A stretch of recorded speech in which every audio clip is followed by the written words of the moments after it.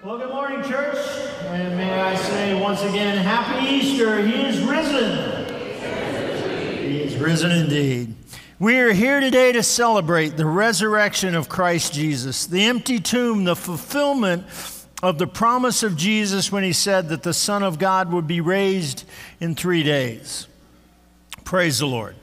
Let all heaven rejoice that Jesus Christ is alive. Let all people here at Sonlight this morning praise and rejoice that Jesus Christ is alive. Give him praise this morning.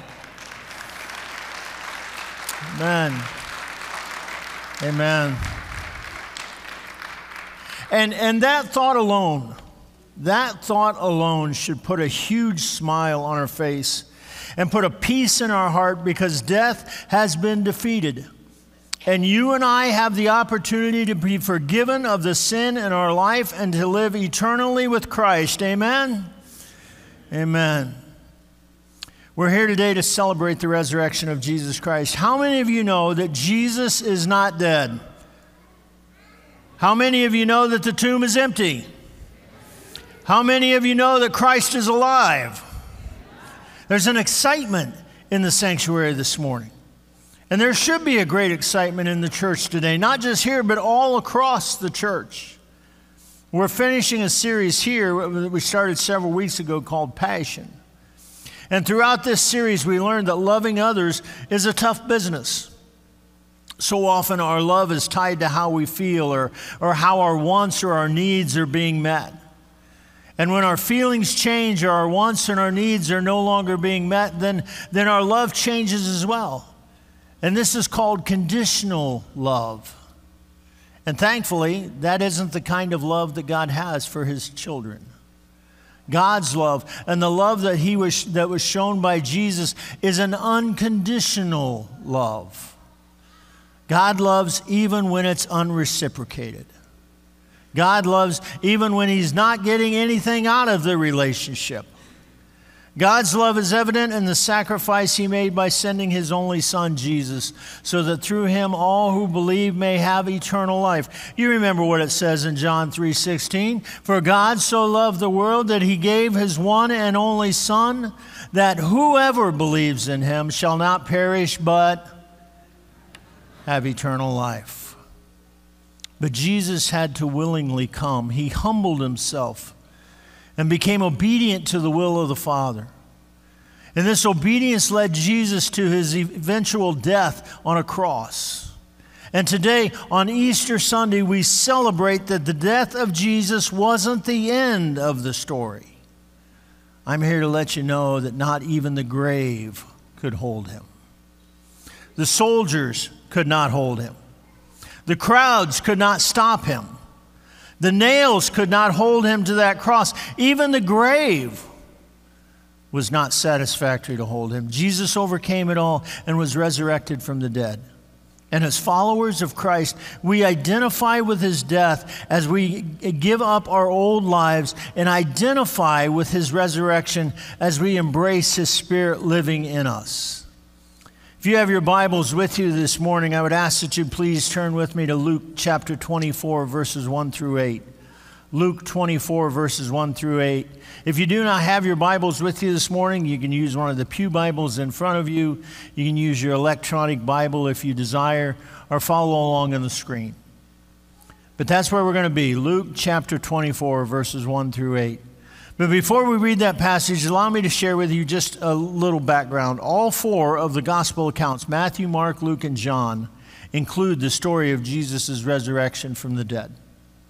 So today, I want to read for you the words that were spoken just after he had been resurrected, just after they found that he was not in the grave anymore. Some of the women who had followed Jesus when he was alive went to the tomb on that first Easter morning and they did not find what they were thinking they were going to find. They did not find his body. Instead, they found two men dressed in clothes that gleamed like lightning. And this is what it says, starting in verse 1 of chapter 24. It says, On the first day of the week, very early in the morning, the women took the spices they had prepared and went to the tomb. They found the stone rolled away from the tomb, but when they entered, they did not find the body of the Lord Jesus. While they were wondering about this, suddenly two men in clothes that gleam like lightning stood beside them. And in their fright, the women bowed down with their faces on the ground. But the men said to them, Why do you look for the living among the dead? He is not here, he is risen. Remember how he told you while he was still with you in Galilee?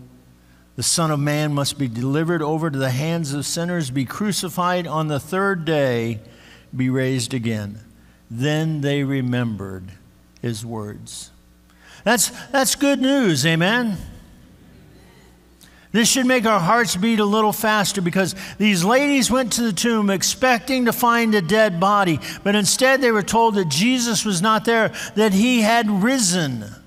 Not even the grave itself could hold him. In fact, nothing was going to stop him because what Jesus was exhibiting at this very moment was an unstoppable love. An unstoppable love that nothing and no one was ever going to stop. I mean, think back to all the people and all the things that, that tried to stop Jesus. I mean, the devil tried to stop him. The religious leaders who turned him in tried to stop him. The crowds tried to stop him. Even the nails in his hands and feet on the cross tried to stop him, but they could not stop him because upon his resurrection, Jesus was, had overcome death itself. And in the words of the Apostle Paul in 1 Corinthians 15 55, where, O death, is your victory? Where, O death, is your sting? Chances are, chances are there may be something in your life right now that if you allow it to will attempt you to stop following Jesus. It's going to tempt you to stop following him. Maybe it's something that, that you've been dealing with for a long time. Maybe it's been a distraction for years. You've fought with the idea of accepting Christ in your life many times, but every time you think about it, this distraction stops you. Maybe it's some repetitive sin that keeps drawing you back into that. Maybe it's a person in your life that tells you that accepting Jesus Christ in your life is a ridiculous choice. Why would you want to do that? Why embrace Him when the world has so much pleasure to offer you? Whatever it is, distractions are normal for all of us. In fact, the world is full of them. But just like we talked about last week, we have to keep our eyes focused on the cross. And although numerous things may have acted as temporary setbacks, the truth is that nothing can negate God's love for us. And the key word in that last statement is nothing. Listen to this verse from Romans 8 38 and 39. It says, For I am convinced that neither death nor life neither angels nor demons, neither the present nor the future, nor any powers, neither height nor depth, nor anything else in this creation will be able to separate us from the love of God that is in Christ Jesus our Lord. Nothing can separate you from that. That unstoppable love that Christ has for all of his creation cannot be stopped. What a powerful message. Paul says that there's nothing in all of creation that can separate us from God's love for us. And this should allow us to live a free life, not having to worry about things, not stressing about how we will pay the high price for our sin, but once again to be reconciled to God. For you see, if there is nothing that stands in the way between you and God, that sin that is in your life right now can be gotten away from, can be given away to Him, and it's not going to stop because He loves you in spite of who we are and what we are.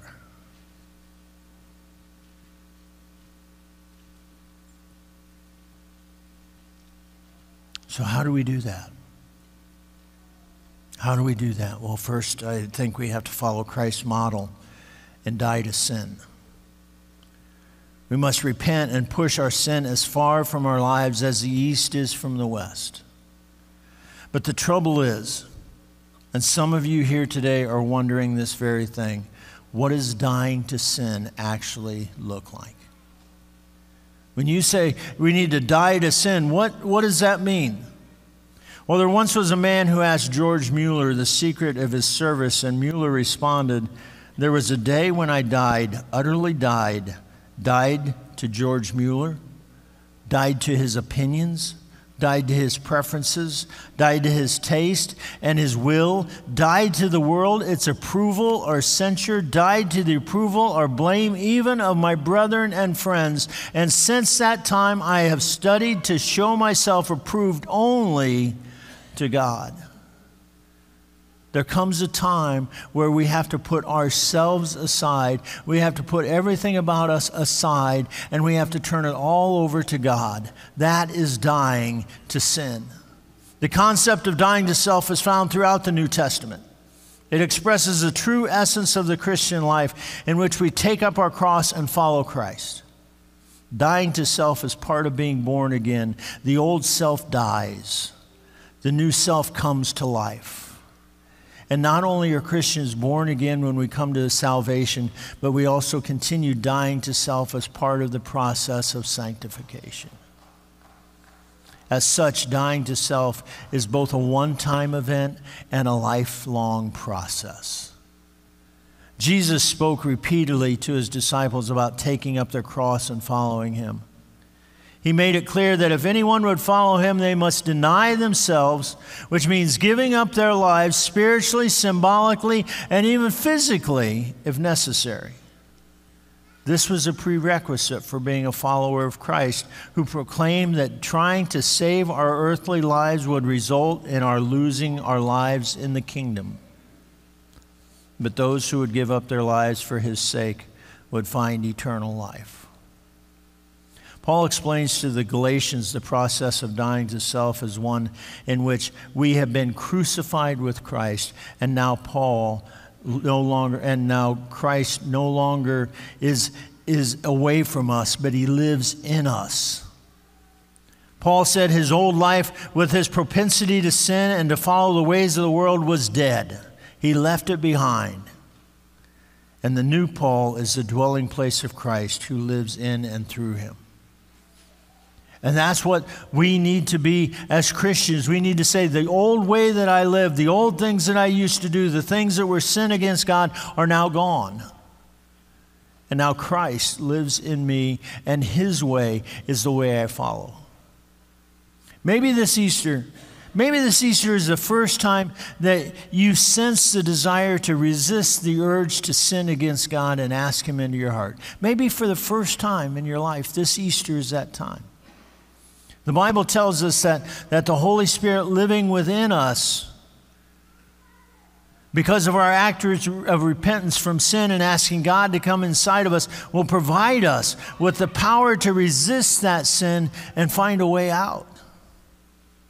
So, if dying to our sin and trusting the work of the Holy Spirit is step one, what about step two? Well, we already know that Christ did not stay dead, the grave was unable to hold him. So, what does it mean for us that He is alive today? What this means is because Christ was victorious over the grave and the death, that it allows us the opportunity to live for Him. And not just live for Him here, but to live eternally with Him in heaven. By that empty grave being there, Christ tells us that because he came back, because he overcame death, we also can overcome that death that takes place, and we can live with him forever. The challenge for us as believers and followers of Christ is to learn how to live for him each and every day. In the Gospel of Luke 9:23, we are reminded of this. It says, "Then he said to them all, whoever wants to be my disciple must deny themselves and take up their cross daily and follow me." Now, this may seem like a simple statement, but it doesn't involve just words. Living for Christ takes very real action as indicated by this passage from Luke and the others in the New Testament. In fact, in James 1:22 we find these words it says, "Do not merely listen to the word and so deceive yourself. Do what it says." Which means that when we ask Christ into our life, when we ask Him to forgive us of our sin, when we ask Him to take all of those things away from us, and we say, We're going to live for you this day, Lord, that, that He gives us the opportunity to be able to do that. And we know how we are supposed to live by reading His Word, listening to His Word, and then doing what it says. The Bible is meant to be an act is, is to act as our guide concerning how we are to live in Christ. It tells us the sins to watch out for. It lets us know the type of fruit that should be born out of our lives. It tells us what kind of community to seek out. It tells us to trust in Him and not live in fear. There is a great and powerful instruction all throughout the Bible. But the scriptures aren't just meant to stop at divine instruction, they are meant to inspire us onto abundant and faithful living. In John 10:10 10, 10, it says this, the thief comes only to steal and kill and destroy. I have come that you may have life and have it to the full. God's desire is that we experience abundant life now through the powerful sacrifice the unstoppable, the unconditional, the sacrificial, the humble, the perfect love of his son Jesus. And in stark contrast to this stands the devil who seeks nothing more than to steal, kill, and destroy our lives. This decision to accept or reject Christ truly is one or the other. You either, there are not multiple options, there are not multiple scenarios. You either accept Jesus Christ as your Lord and Savior with the promise of life eternal in heaven, or you reject Christ and know that your destination is hell. That promise of eternal life is due to the fact that we come today and celebrate that the tomb is empty. And when we celebrate that the tomb is empty, it gives us power, it gives us hope, it gives us joy, it gives us a promise. It gives us the opportunity to not live in fear. You know, there's a praise chorus that we sing that talks about no more fear. Fear is a, is a terrible thing. Because fear is something that can come in and take inside of us, and Satan loves nothing more than to put fear into your heart. Because if there is fear in your heart, then you are going to question whether God is what he says he is and who he says he is. And the dichotomy of a, of a serene peace, knowing that heaven awaits versus the intense fear of an eternity in hell, is one that I can relate to. There's nothing more in my life than I want is a, is a serene peace that comes over me in all situations. It doesn't matter what happens. And that peace can only happen when we accept Christ as our Lord and Savior. June 13th, 2013 is a day that I will forever remember. I was lying on a gurney in the pre op area of Lutheran Hospital's Heart Center. Anyone knows me and knows me well knows that I'm an emotional person. And several weeks before that morning, I had been told that, that I had a heart valve that needed to be replaced. I also had an aneurysm on the main artery of my heart. And both of those things needed to be taken care of as soon as possible. Now, the shock of hearing that news was hard to hear, but, but through the process of all the testing and the preparation, I really did not have a sense of fear. And for someone who is emotional, that is really sort of unheard of. I had questions about the procedure, I had plenty of questions, but I don't ever remember being fearful.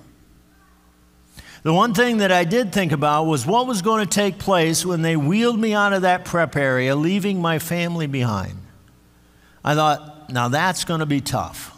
That's going to be tough.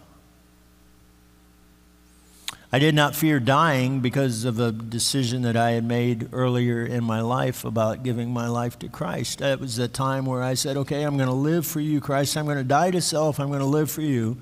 So that decision told me that there was something better for me than being here if I was thinking this was it. So I, I, I never feared dying through the whole thing.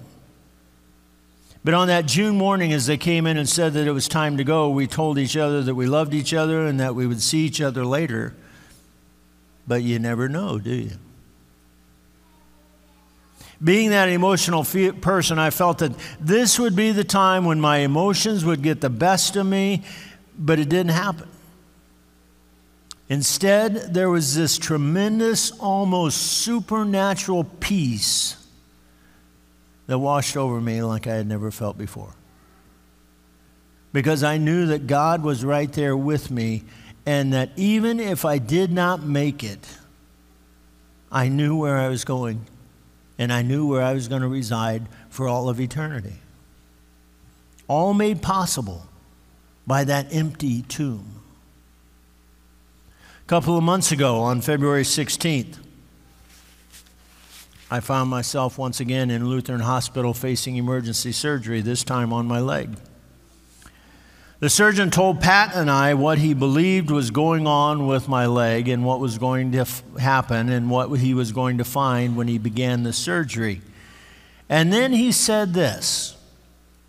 He said, I must tell you that if it is bad, if it is as bad as I think, it might be possible that you'll lose your leg. I'm not sure what you're supposed to feel or experience or even think at a time like that. But once again, I felt this intense calmness and peace that I experienced nine years earlier. I was wheeled into the operating room, and all I felt was a peace that was only possible when Jesus Christ is living inside of you, and Jesus Christ is guiding and directing you, and Jesus Christ is making the calls for your life. Now, thankfully, and I thank God for this, I didn't lose my leg. But if I would have, I still knew that God was going to take care of me. And the only way possible to be able to experience that kind of peace is by having Christ in your life. You can't experience that kind of peace if you've never accepted Christ in your life because there's always going to be fear. Satan is always going to stick fear into your life. He's always going to say, God's not going to take care of you. You can't overcome this but because of the empty tomb, we can overcome anything. For those of you who have accepted Christ into your life, I pray that you have also experienced that type of peace. But for those who have not accepted Christ, you may be thinking, I thought that when you accepted Christ into your heart that you would not have any problems or any temptations or anything ever again in your life. If that is what you're thinking, then you are, how do I say this? Uh, wrong. Accepting in Christ into your life does not keep you from trials or problems or temptations. Accepting Christ into your life gives you the peace and the calm and the promise that Jesus will be right beside you during those times. So there is no need to fear because he's going to be there with you every step of the way. When you live in Christ, you can rest in the assurance that your destination is heaven and there is no more peaceful place anywhere. The tomb is empty. The tomb is empty so that those who accept Christ can live in this world without fear, because when the time comes to leave this world, heaven awaits, and that is where peace comes from. But in my life, I have witnessed many people that have chosen to stay far away from Christ. They desire to do things in their own way. They want to call the shots in their life. They want nothing to do with anything of God. They want nothing to get in their way of living the life they desire to live. But here's the good news. Even with all the things and the roadblocks that those people tried to put in God's way, God is still calling them, and God is still saying, I love you and I want you to be with me. Because the love of Jesus is unstoppable, it's, uncom- uh, it's unconquerable, and it's unyielding. Today, you may be sitting in this sanctuary saying that you want nothing to do with God, and God is saying, I still love you, and I'll always love you. That's why the tomb was empty. His love is far greater than some tomb with a large boulder rolled in front of it. Easter Sunday is such a special time for us to, to celebrate our collective freedom. It's a day to remember our individual testimonies, a day to celebrate and commemorate all that God has brought us through as individuals and as a community. And as we've learned throughout this service, the sacrifice of Christ on the cross was fueled first and foremost by unconditional agape love. Christ was humble, he was obedient. And his life for us was perfected 2,000 years ago when he died on the cross, only to be raised to life three days later. As believers, the empty tomb is where we find fullness of life. But for some in the sanctuary and online today, there is simply nothing more than an empty life for them. Their experience of life is a monotonous one of repetition, actions devoid of any hope, joy, and if you're honest with yourself, the unconditional love that has been described here today. But the good news, actually, the greatest news, is that the experience of those who are described as lost God says, I want you to be found. I want you as mine. And that abundant fullness of life in Christ is available to any and all who believe in him. As Jesus was being tortured and whipped before the actual crucifixion, it was said that there was so much blood on the ground that day that there were people who were actually soaking it up with rags. That blood that was shed before and during the crucifixion was shed for all of us. That blood covered and removed the sins in our lives when the decision was made by us to accept Jesus as our Lord and Savior. When we asked Him for the forgiveness of our sin, it was given. There was no questions asked. When we ask Christ to forgive us, it happens instantly. Elise and the team are going to come and they're going to share a song entitled Thank You, Jesus, for the Blood. And I want to share with you before they sing the first verse with you as they come. And this is what it says it says, I was a wretch. I remember who I was. I was lost. I was blind. I was running out of time. Sin separated, the great breach was far too wide. But from the far side of the chasm, you held me in your sight. You made a way across the great divide, left behind heaven's throne to build it here inside. There at the cross, you paid the debt I owed, broke my chains, freed my soul. For the first time, I had hope. Thank you, Jesus, for the blood applied. Thank you, Jesus it has washed me white. Thank you, Jesus. You have saved my life, brought me from the darkness into glorious light. I don't know where you are at this morning in your relationship and your life with Christ. Maybe you're here this morning and you have never asked Christ to forgive you of the sin in your life or ask Him to come live in you and guide you and direct you. If that's the case, then I'm going to ask you to make a bold move.